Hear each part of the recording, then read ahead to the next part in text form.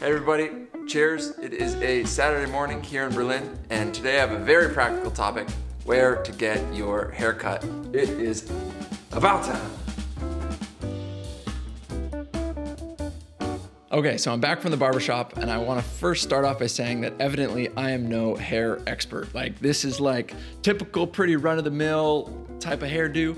Um, so yeah, so if you're looking for something crazy, maybe this uh, recommendation isn't the best. Also, if you're looking for something that's just like the cheapest, most convenient barbershop, this recommendation probably isn't for you. Um, but the location I'm gonna talk about today is called Nomad Barber, located in Kreuzberg as sort of a more uh, upper end or nicer or a slightly more expensive uh, barbershop, but you really um, get some good value out of it. And I wanna share my experience with that and, and paint that picture for what you're getting into before you go as an English speaker or, you know, I remember when I first came here, I was a bit stressed um, out about going to the barber, and it meant that I didn't go to the barber for a very, very long time.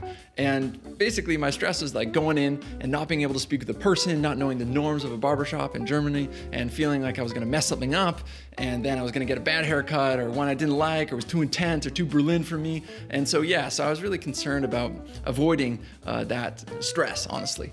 And Nomad Barber ended up being a good solution for me. If you sort of lay out how it works, basically, you book online before you go, they give you a nice haircut, they wash your hair, they give you proper shampoo, put some gel in your hair, make it look all nice, which is nice.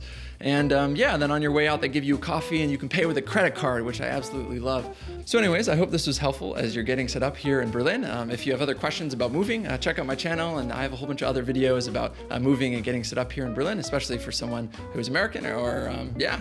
So anyways, I'll see you in that next video, whatever it is.